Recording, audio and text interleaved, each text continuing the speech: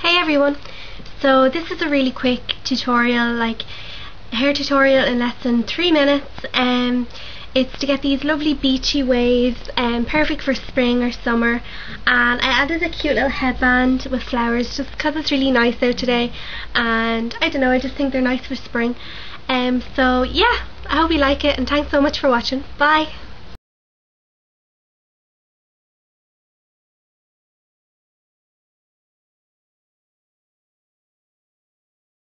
So uh, the first thing I did was basically I washed my hair last night and just left it to dry naturally and then uh, just there a few minutes ago I'm after just plaiting it into pigtails like this. So then I'm going to take my Tresemme Heat Protectant and just spray it on the ends like that. if you can hear a bell pottering around in the background. Um, I'm sorry. So just spray it like that. So then I'm going to take my GHD flat iron, which looks like this. And basically I'm just going to go over my pigtails. Just like slowly.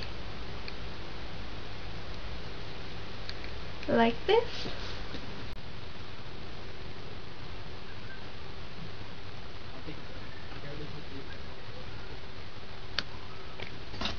And then the other side.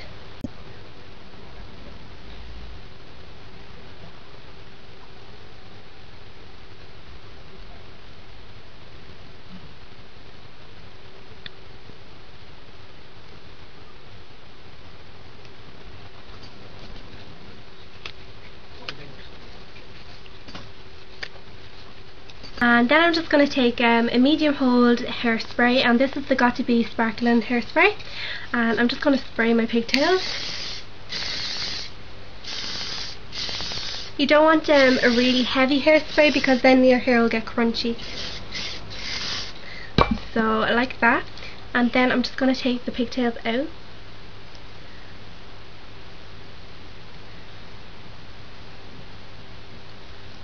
Like that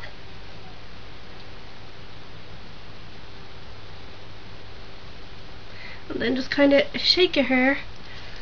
And you have these lovely beachy and um, pretty waves and um, perfect for summer and perfect for spring. And it's really quick. It takes like less than five minutes to do which is brilliant if you're in a rush and you still want your hair to look cute. So yeah that's it. And I'll talk to you all soon. Bye